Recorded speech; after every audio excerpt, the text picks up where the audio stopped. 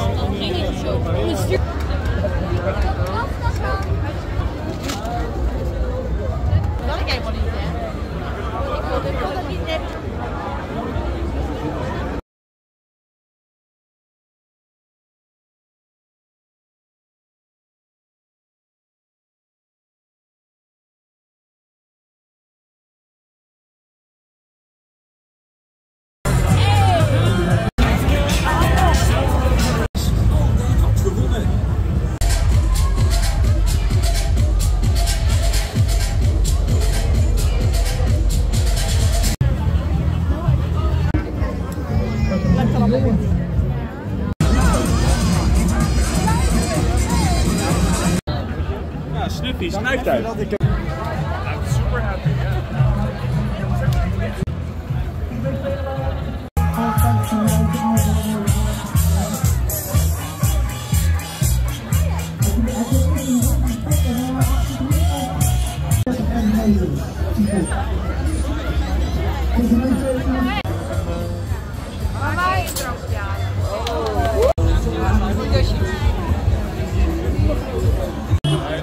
Thank you.